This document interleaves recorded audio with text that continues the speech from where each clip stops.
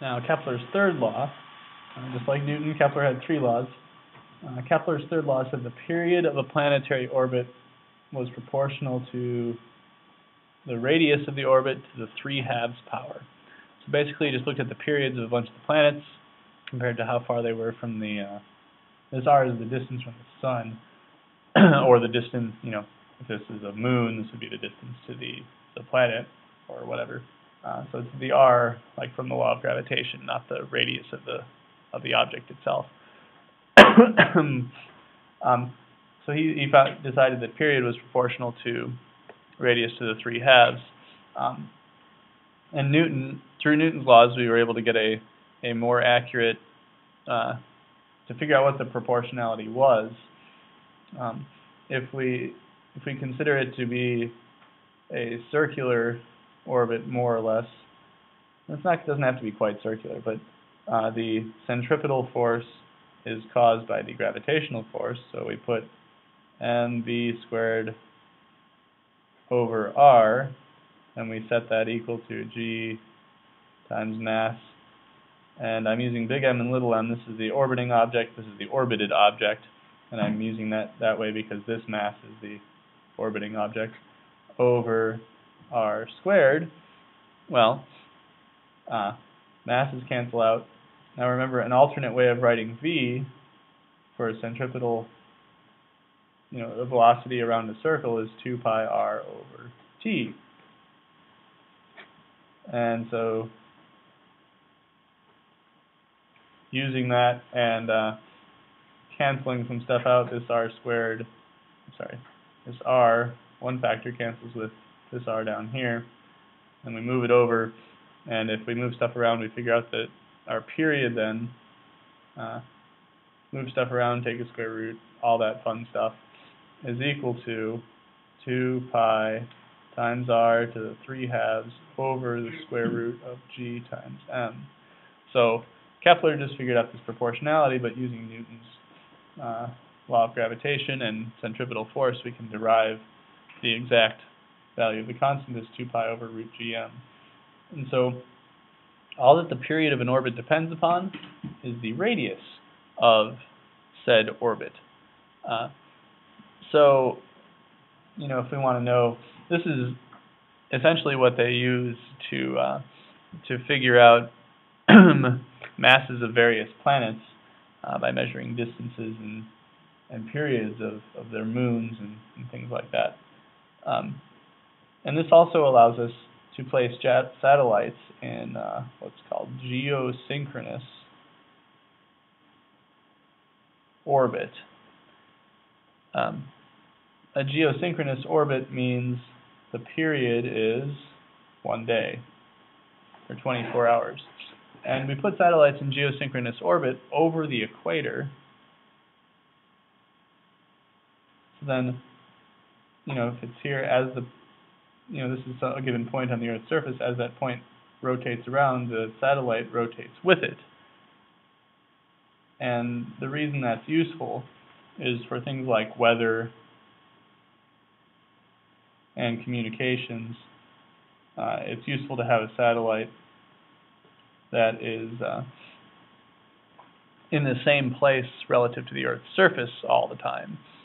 Uh, having that, you know, position in the same place is helpful.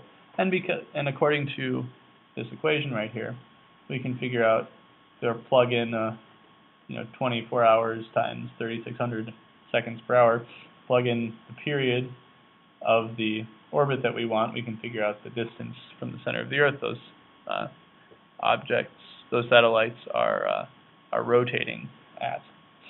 Um, another, I don't know, something that comes out of uh, Kepler's laws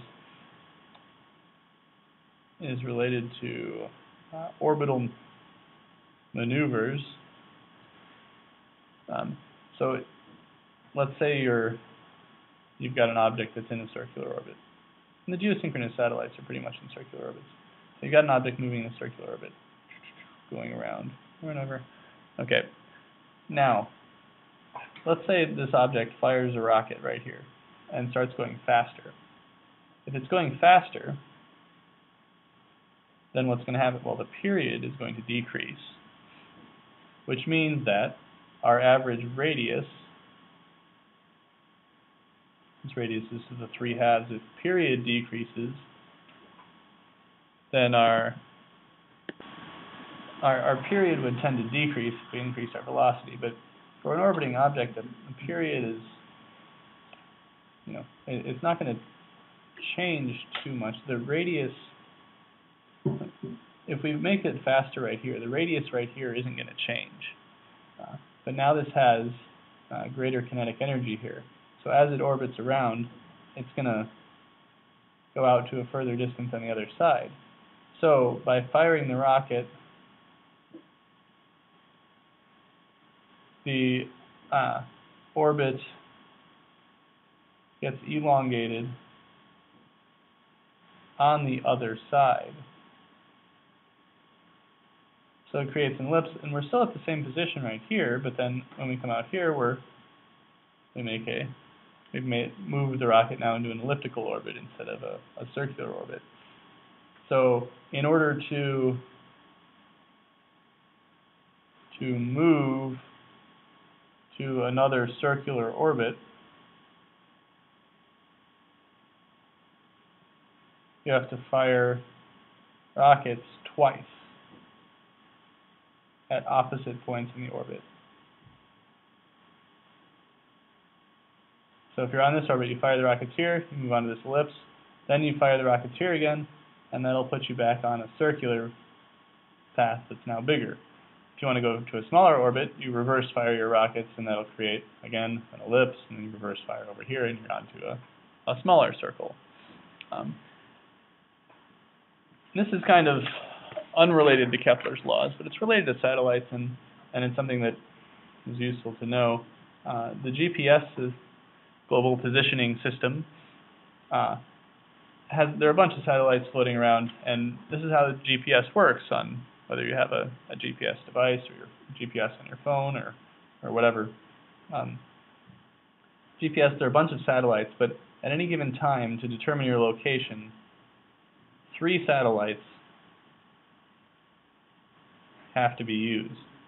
Uh, so we've got a tennis ball here. Let's say this is the Earth, and you've got a if you've got a satellite in orbit somewhere above the Earth, uh, but the GPS know it sends out a signal that bounces off of your device and comes back, and the satellite knows how much time that takes, which means it knows how much distance the beam has traveled, and so it knows how far away you are from the satellite.